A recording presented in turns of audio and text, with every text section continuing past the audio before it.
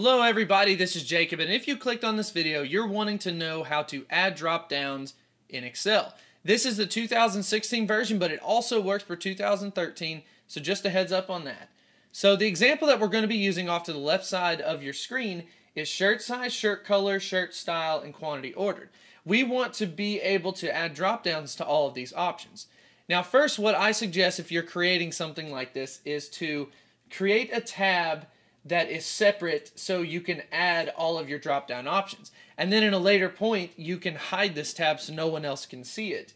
But if you notice, we have shirt size, shirt color, shirt style, quantity ordered, and we have everything in a vertical list. It must be in a vertical list. So let's go ahead and go back over to our first page. So what we want to do is add a drop down here, here, here, and here. Okay, so now we're going to do shirt size. So what you have to do is go up to the Data tab at the top.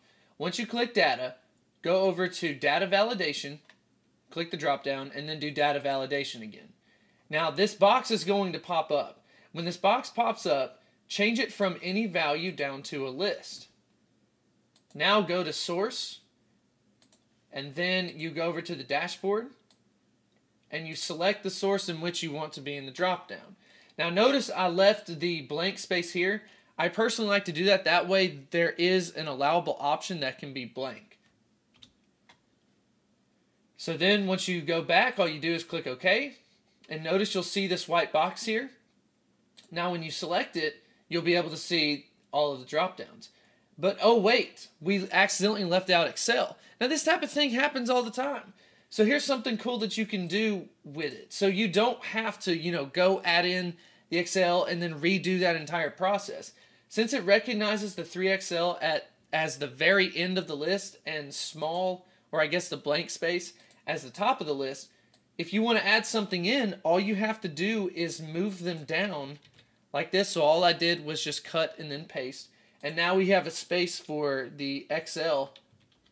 And once we add that in, if we go back over to the original sheet and you click the drop down, notice that the XL is now available.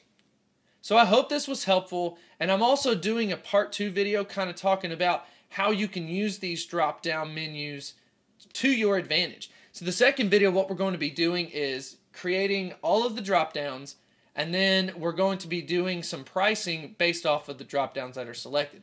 If you enjoyed this video, be sure to like and subscribe.